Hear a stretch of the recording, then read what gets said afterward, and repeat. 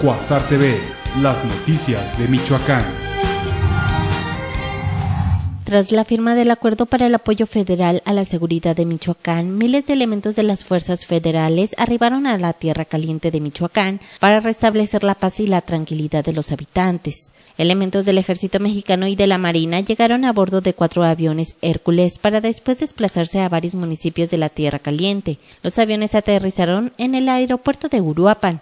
De inmediato se montaron operativos de vigilancia en los municipios de Patzingán, Nueva Italia, Arteaga, Tumbiscatío, Cualcomán, Tepalcatepec, Buenavista, La Huacana y Uruapan, entre otros. El lunes arribaron a Michoacán 11 helicópteros de la PGR que tendrán como centro de operación Morelia y serán desplegados hacia las zonas donde se requieran.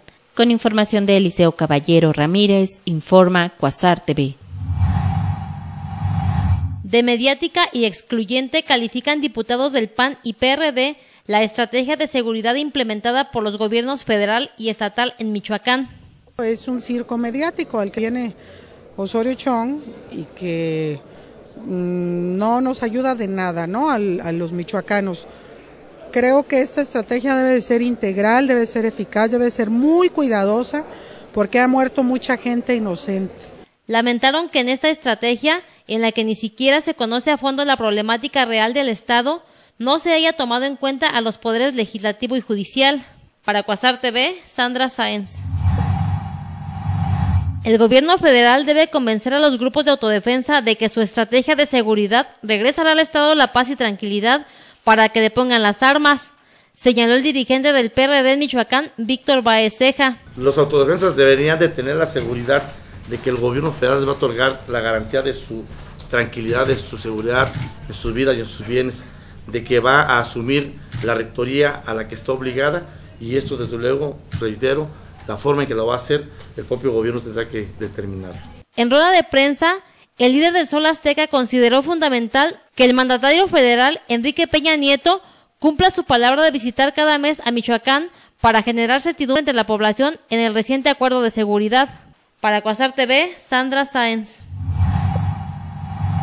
La Universidad Michoacana de San Nicolás de Hidalgo, a través del rector Salvador Jara Guerrero, dio a conocer algunos relevos en dependencias universitarias. Carlos Salvador Rodríguez Camarena, quien se desempeñaba en la Secretaría Administrativa, se integrará a la Coordinación para la Contabilidad Gubernamental.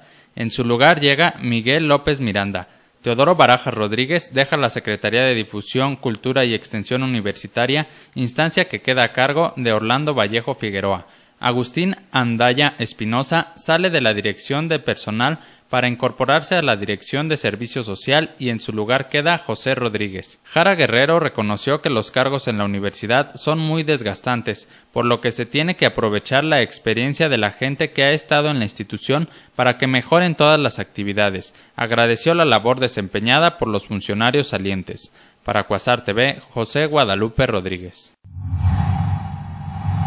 Monarcas Morelia estuvo dos veces arriba en el marcador contra Toluca y casi se traen la victoria ante los Diablos, jugándole de tú a tú en la bombonera, lo que representa una mejora en el conjunto purépecha, manifestó Carlos Bustos, estratega de Morelia.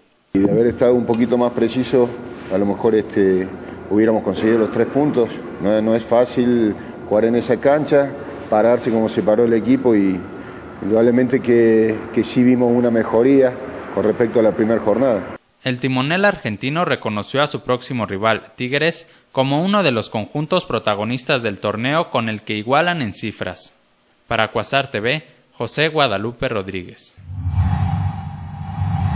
Con trabajos de terracerías, subbase, base habilitado y colocación de acero reforzado en el suministro y colocación de concreto hidráulico, durante la madrugada, la empresa constructora avanza en la obra de Avenida Camelinas, que se espera esté terminada en 60 días. Las labores se desarrollan durante las 24 horas al día. Un total de 230 trabajadores, distribuidos estratégicamente, hacen notorio el avance físico que se aprecia en los últimos días. Algunos laboran en la planta dosificadora de concreto hidráulico, otros en el suministro de materiales para la conformación de terracerías, personal técnico revisa la topografía y control de calidad, obreros se encargan de habilitado de colocación de acero, de refuerzo como en la colocación y tendido de concreto, mientras que otro equipo está designado a orientar el flujo vial de los cruceros.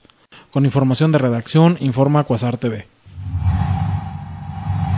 Familias de migrantes que viven en rezago comunitario se verán beneficiadas con la firma de convenio de participación entre la Junta de Asistencia Privada y la Secretaría del Migrante de Michoacán, celebrada este martes. María Leticia Vázquez, titular de la Junta de Asistencia Privada, acompañada por Luis Carlos Chávez Santa Cruz, titular de ese migrante, destacó el trabajo arduo, constante y diario del personal de dicha Secretaría y recordó que con su apoyo se ha beneficiado a diversas comunidades con recursos a nivel nacional e internacional.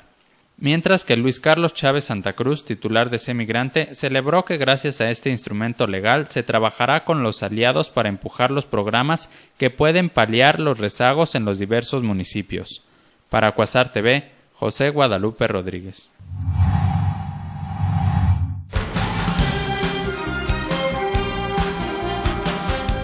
Cuasar TV, las noticias de Michoacán.